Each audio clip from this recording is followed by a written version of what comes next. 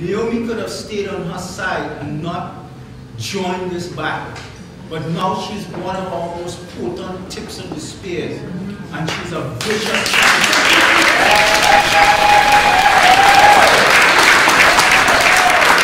It's been said that there's no greater loss of freedom than to put a man or a woman in a prison block. That they have lost all their freedoms. They have a life sentence. I can think of one more. How about shove a pill down their throat? How about jab a needle in their arm?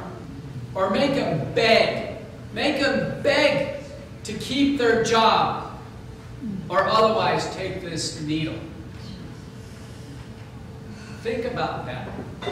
That's the greatest loss of a fundamental right, is losing your personal autonomy. The title of the book is The Bodies of Others.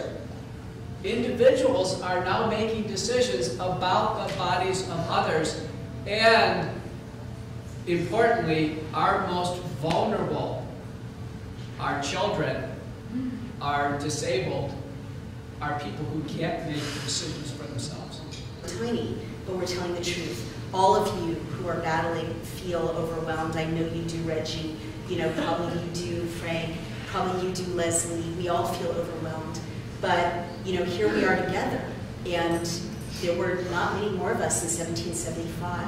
And that's really the point of the bodies of others. They kept us apart so we wouldn't feel the power and the inexplicable magic and multiplication effect of human beings in concert helping each other in person. So may we bring that back.